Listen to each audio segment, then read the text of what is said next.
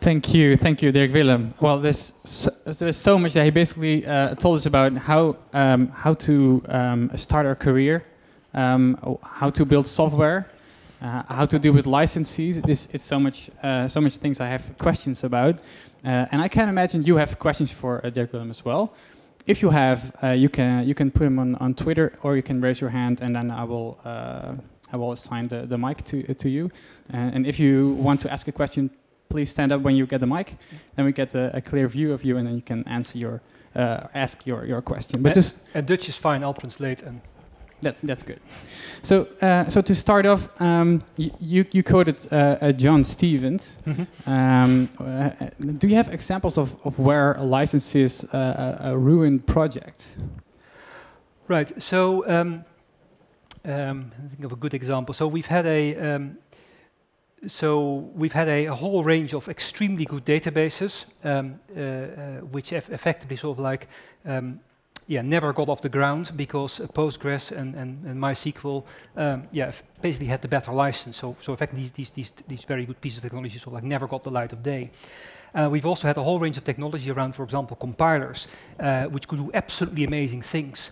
Uh, but since the license of like was contaminating enough, that was not something the, the, industry as a whole picked up, and that's why we're still like compiling, for example, Linux with GCC, even though it's not exactly state of the art. So we sort of like have these examples in, in most of those, yeah, in actually quite a lot of areas. If you go in the in the areas of graphics, if you go in the areas of video compression, the situation gets even sadder because in those areas it's not just licenses which bite you, it's also uh, uh, patent issues which license you as well. unfortunately, uh, Uh, for most of us, patents actually came quite late in the software world because for a long time you couldn't patent software. So that was something we only started to sort of like tackle in the last 10 years. So a lot of technology from before that, yeah, sort of like gets gets harmed there. Mm-hmm. And what are the biggest problems with, with licenses, which you tackle with Apache? Right. So, so, the, so there are a couple of things. So first of all, if you, if you take a very permissive, nice license, like the Apache license, the, the MIT license, the Boost license, which basically means you can do anything with this code what you want, it does mean that someone can take that code, run away with it, make it completely commercial, improve it tremendously, and never give it back,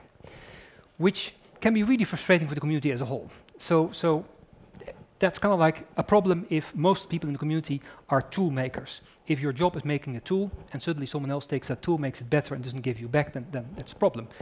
If you, for example, um, let's say, uh, uh, like in my case, if, if, you're a civil servant and you're working on the tool and the tool is not there for the tool, like for, for Apache, it, it's, it's there to get weather pictures out, you don't care at all that someone actually picks it up and makes a much better version of it. In fact, that's, that's kind of like funny because basically you're making it for that particular code. So that's kind of like, and you could have exactly the opposite. So like you can say like, well, for example, I've got something on the GPL code, on the GPL license, which says like if you use this code and you modify it or improve it, you have to give it back.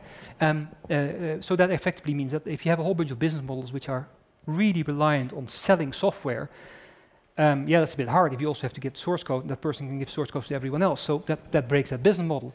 But if you're, for example, Red Hat, you do really, really well out of actually suppl uh, supplying support. So in many ways, the licenses sort of like shape the businesses you can have uh, around that. And uh, today we wouldn't have like uh, Google or, or, or, Apple or all these other organizations. They wouldn't exist if it wasn't for that enormous stack of open source they could, could live Yeah, yeah, yeah. So uh, one other question about the licenses was uh, posted on Twitter. Um, uh, how, how are these open source licenses uh, enforced or protected? Is it something that, that Apache does, or is, is right? Who is yeah. Doing so that? so there, there, are two aspects there. So the first one is the first purpose of licenses is actually to protect the developers, because like it or not, software companies are worth billions. Venture capitalists, well, they care about money. So so the first and foremost things you have a license for is to protect your own ass, because otherwise, and that's just the reality of life, you get sued. It basically it ends up in tears. So the first thing a license does, it helps basically protect the developer. So the Apache Software Foundation is a legal entity with a lot of process, very boring process, very annoying process, to just sort of like make sure that it can protect its own developer. So when you contribute in Apache and you stick to the rules, you're effectively shielded by that organization, by the license. So that's that's the first part. And then and license action is actually not uncommon. And if you uh, you've also like seen the, the fight between Oracle and, and, and, and Google, for example, over some aspects of the of the license. Um, the other sort of like aspect is sort of like if you're a company and you're sort of like violating the license. Um, now, it, it generally sort of like in the BSD world, in the Apache world, because you, the, the, license is like, here's a piece of code, do with it what you want. The culture in that community is not to go after someone who does what they want because actually the license says it's fine. So, but if you, for example, you're in, let's say on the GPL GNU side, it says like you, when you do something with the software, you make it better, you should just give it back. So developers rightly say to companies like, you've made something better, give it back. So what you see, and if you actually search on Google, you'll find a lot of examples, for example, in Europe, in Germany, and so on, where actually large co corporations which made embedded hardware, which made a little um, TV player and things like that, got forced to actually make their source code, make their improvements public. And the license actually is, I mean, it doesn't happen weekly, but it certainly happened monthly. And in most cases, um, the companies, so like once they get confronted with this, they go like, oh dear, or they go like, oh, we're not paying, and then their lawyers get involved, and they go like, oh, we're terribly sorry, they'll fix it and they'll give a nice donation and you hear nothing of it. But occasionally, sort of like, especially in Germany, some companies have held out long and actually turned into lawsuits. And um, yeah, uh, the, the, the, little known fact is that usually uh, open source wins. in fact, I can't think of any example where that wasn't the case. Yeah, thanks, thanks for that. So, um, does anyone have a question? Wants to ask a question right now? I have tons of them, so uh, I, could, I could continue. Um, um, so think of something, and if you have any question, just post it on, on Twitter, and I will ask it, uh, ask it for you. Um, so um, one other thing I, I really wanted to know, um, you shared the, the, the quadrant of, mm -hmm. of how you should um, develop yourself as a developer. Yep what's what's the most important thing uh, you would uh, you would give out to to the students here to work on? Right. So so the first thing I would do is I would not aim for all of them. I would really sort of like figure out why are you in this? Are you in this to really make a difference for your users? Do you really sort of like want to do something with technology and, and really accomplish something like make, make hotel bookings much better or whatever it is you want to do, basically make, make uh, collecting the taxes much better? I mean, it doesn't really matter, making, making, getting weather pictures to anyone in the world. Is that what you really want to do? Is like really that?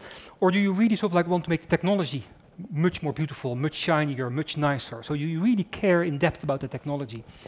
Or do, are you really interested in sort of like the whole process around it, sort of like how a piece of technology is being applied to, yeah, basically to, to a problem and, and understand that problem. And so, so sort of like pick those areas and sort of like then dive into it because the skills between them are very different and, and it's usually like, yeah, just a, a matter of personal preference, what you like and what, what you don't like.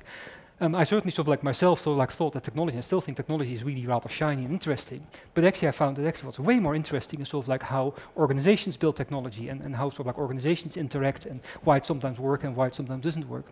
C could you share uh, where, where did you start? Well, so I started as a biophysicist doing, uh, doing uh, satellite pictures of algae. Um, uh, and then sort of like basically I got sort of like sucked in through a very, very gradual path.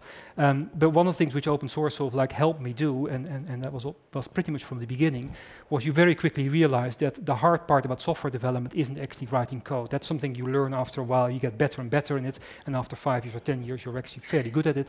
Um, the real problem is to sort of like coordinate lots of people uh, to write code together so they don't stand on each other's toes, that you actually deliver all those things. And that actually turns out, for me, sort of like to be the hard part to learn, but also the most, most interesting part to learn.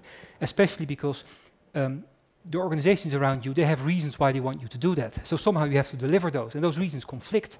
And often they want the best thing tomorrow, very simple. Um, yeah, that, that doesn't work, right? So you kind of like need to figure that out, and then all of a sudden it becomes interesting engineering again. And yeah, that, that's very addictive. Do you, do you still actually code? Um, yes, I have to admit. So, so occasionally, sort of like there are like uh, security issues or other issues in very arcane, embarrassingly old code, and I help fix it. And the other thing I, I, occasionally sort of like do is sort of like basically I do a lot of work for, for startups and large companies when they have basically have got problems. And sometimes it is actually helpful to sort of like do a little bit of code and show like, well, this is roughly the pattern. But I'm certainly sort of like old and rusty, and I do these old languages like Perl and C and, and Java and so on. So that's that's definitely not uh, not where it is today. Yeah, yeah. So uh, oh, do you have some example of, of some uh, some of the problems you work on right now with with uh, with other companies or startups? Um, so, so for example, like like the, the, the most recent ones of like I worked on, or the, which are kind of completely completed now, was uh, was at the, at the BBC at the English broadcaster, and there really the problem was that that organization had outsourced all of its IT and wanted to sort of like insource it again. So there, effectively, you had to sort of like basically set up and retrain a whole uh, yeah a whole community of developers to turn out modern uh, open source based stacks. And one of the problems, and this actually, if, if you sort of like want to work for a government, this is something which is really interesting.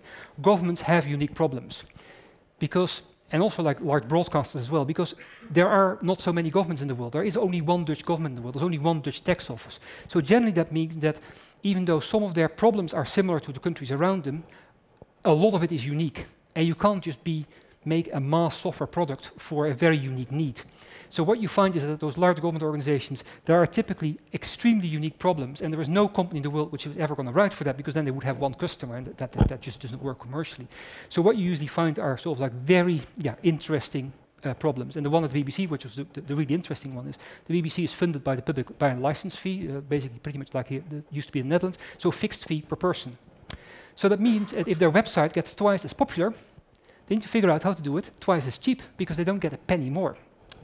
All technology in the world is based on if you get more traffic, you get more money, and therefore you can buy bigger things. For public organization, it's the opposite, right? If you get more popular, you better figure out how to do this more efficient. And that's problematic in IT, because if you buy a, a 100, gigabit, 100 megabit router or a 1 gigabit router, you can buy them at the Dixons, or well, you could buy them at the Dixons. They're like a few hundred, hundred euros, that's it. If you want to have one with 10 gigs, or one which is 10 times as fast, that's not 1,000 euros, that's not 10 times as expensive, that's about 500 times as expensive to 1,000 times as expensive. So interestingly, the entire substrate you're working on becomes, for every time you go, everything becomes 10 times bigger, 10 times better, 10 times whatever, it becomes usually 100 to 500 times as expensive. But you, as a public service organization, let's say you're the tax office and you're trying to of like have a system, your backups for the tax office, you actually don't want that to happen because you're not making necessarily more money that way. So that's kind of like at the BBC, that was the most challenging fun engineering problem. Like, how do you build a stack that scales and scales and scales and scales without sort of like getting exponentially more, uh, more, more expensive? Yeah, cool. Um, uh, uh, a little bit of other question. So, uh, who of you is actually contributing to an open source project? I get you. Yeah, uh, just a sec. Uh, who, who, of you is actually working on an open source project? Can I see a show of hands? Okay, so, so a quick question before I answer, or you can answer, uh, ask yours. Um, how, how would you advise uh, the students to get started in open source? Because you, you, you told open getting started in open source is really yep. good for. So, so actually, in most cases, it's actually really rather simple. Um, I find it typically works best also for me if you pick something which you need yourself for something, for a little experiment, to control something, to do something, whatever it is, right? I mean, something simple.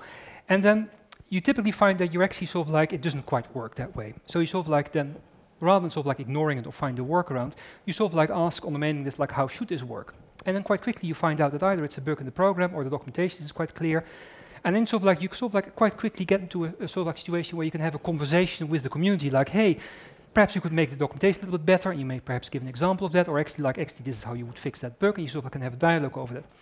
Quite quickly, once you've gotten yourself a little bit into it, you find that you can actually help others asking the same question. So someone else asks an interesting question. You, of course, won't know the answer, but you actually look at the source code and figure out actually what the answer should be.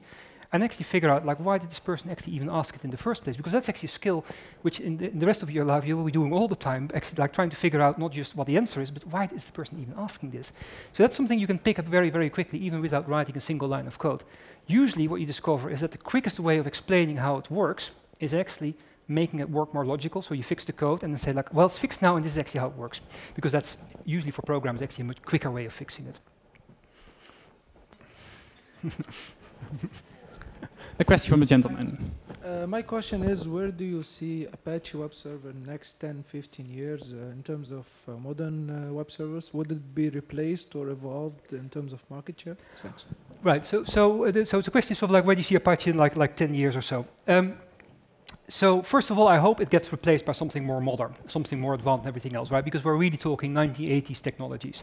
It's written in C from before C++, certainly uh, no, no standard C++ templates. So it's, it's, it's, it's not a very advanced uh, piece of code. Um, reality is, and that's actually a set really for everyone here, is enterprise software or, or, that type of software, infrastructure software, has lifetimes of at least 20 years, if not 30, 40 years. So absolutely, in 20 years' time, Apache will still be there it's unavoidable.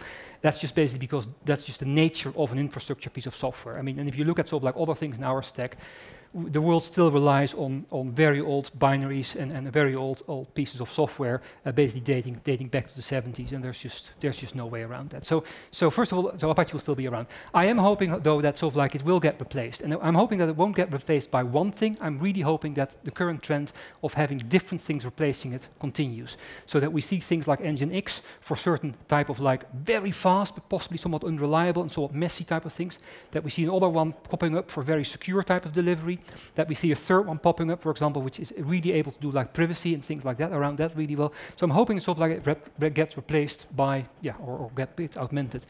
Reality is, anything low in the stack, typically there is no win in replacing it really.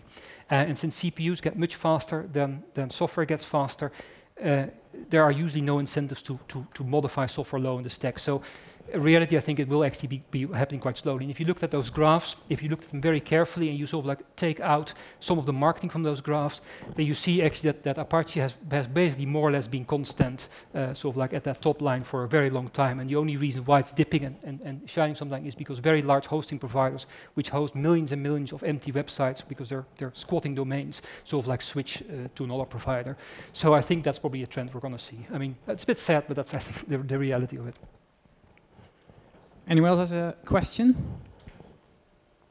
Okay, then uh, to close off, um, if, if you could, um, if you could uh, give one piece of advice to these uh, students uh, uh, to go forward with their careers, what would it be?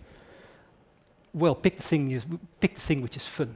I mean, that's that's basically what, what, yeah, that's what I've always done. So like, pick the thing which is the most fun, because IT is so incredibly large and there's so so so much need. You can basically yeah find that niche which you really enjoy, and then you find out there are actually lots of jobs in it. Thank you, Dirk Willem.